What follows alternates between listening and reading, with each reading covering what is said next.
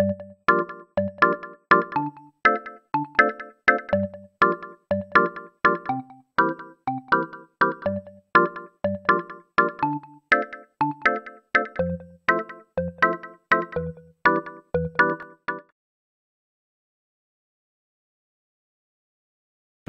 warahmatullahi wabarakatuh. Sahabat Ibroh yang insya Allah dimuliakan oleh Allah dan diridukan surga Dalam rangka mendewasakan diri dan atau membangun pribadi kita sebagai seorang muslim Salah satu hal penting yang harus kita pelajari adalah bagaimana menjaga atau memelihara lisan dan perkataan-perkataan kita.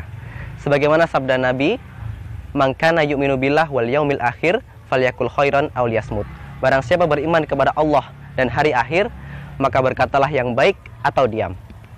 Saudaraku sekalian insya Allah dimuliakan oleh Allah, terdapat berbagai macam diam e, berdasarkan situasi kondisi dan tentunya berdasarkan niat setiap orangnya.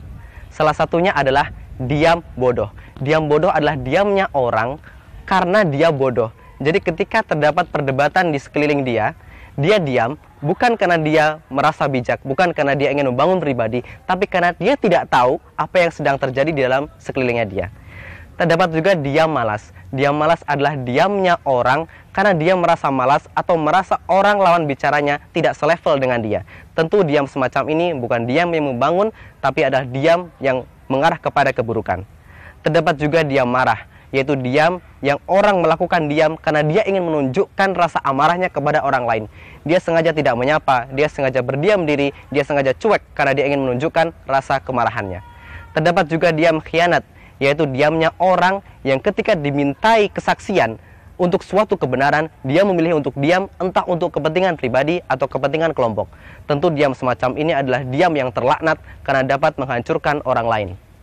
Saudaraku sekalian yang insya Allah dimuliakan oleh Allah, tentu diam yang diinginkan oleh Rasul kita adalah diam yang merupakan buah dari perenungan, merupakan buah dari pemikiran kita, karena ketika kita diam, maka itu adalah lebih baik daripada kita berbicara. Atau ketika kita diam adalah kita memikirkan bahwa dengan diamnya kita itu lebih maslahat dibanding ketika kita berbicara.